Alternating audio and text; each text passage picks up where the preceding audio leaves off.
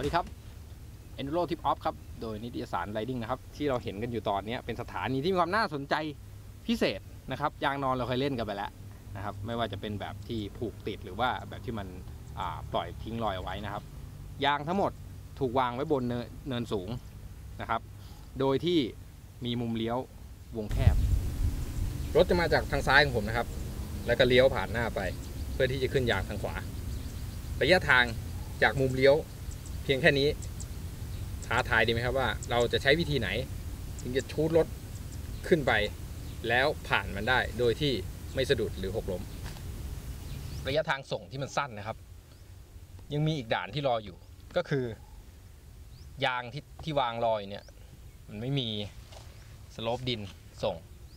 เท่ากับว่าเราต้องพุ่งชนยางเลยทำยังไง ถึงจะผ่านไปได้ เริ่มต้นที่ความตั้งใจครับ ต้องคิดก่อนเลยว่า เราต้องผ่านมันไปให้ได้ ตั้งรถให้ตรง เร่งรถให้ดี แล้วชูดขึ้นเลยครับ ความยาวระยะของแนวยางเนี่ยหัวท้ายนะครับ สังเกตดู จะไม่เกินความยาวของรถมากนัก ขอให้ชูดให้ผ่าน ตรงทางขึ้นมาให้ได้ครับ แล้วที่เหลือเป็นเรื่องของ balance ตัวคนที่อยู่บนรถซ้ายและขวา น้ำหนักอยู่ที่ไหน